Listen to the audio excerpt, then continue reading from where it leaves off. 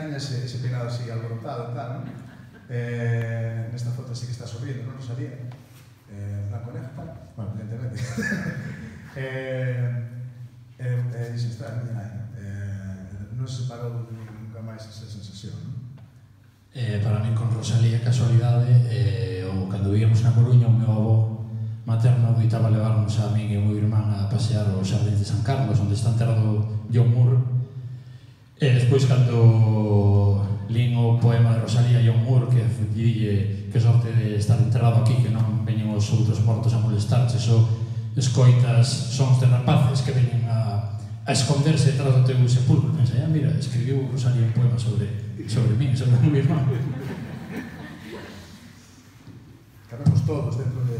No, de todos. Pobre Galicia, non debes chamarte nunca española, que España de ti se olvida cando eres aí tan hermosa.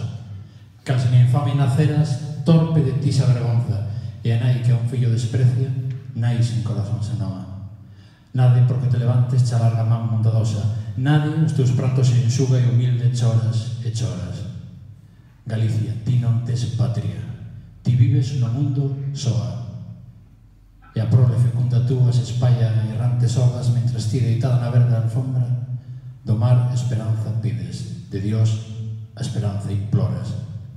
Por eso, aunque en son de festa a gaita galega ollas, eu podo dicirche que non canta, que chora.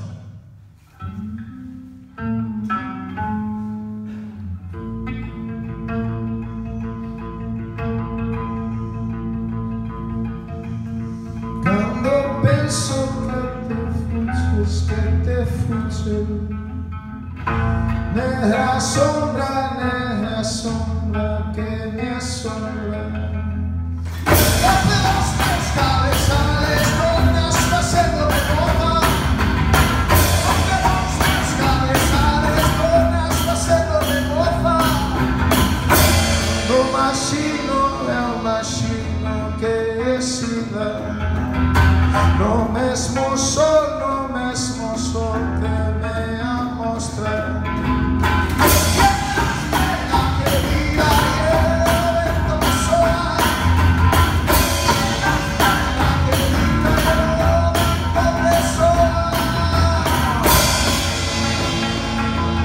Ánimo, compañeiros, toda a terra é dos homes, e aquel que non viu nunca máis que a propia, a ignorancia o consome.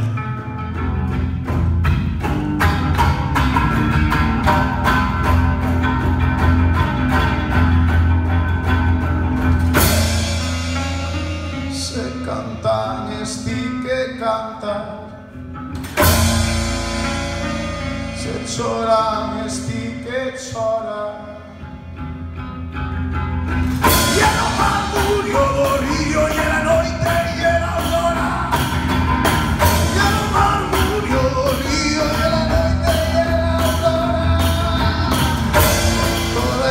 sento, todo, estás aquí, es todo. Para min, pra mí, en mi mesma hora. Y me deixarás ti nunca sola, sempre sola. E me deixarás ti nunca sola, que sempre na. Ánimo, compañeiros, aunque agora marchamos de Galicia lonxe, verés desque tornemos o que medrá nos robles.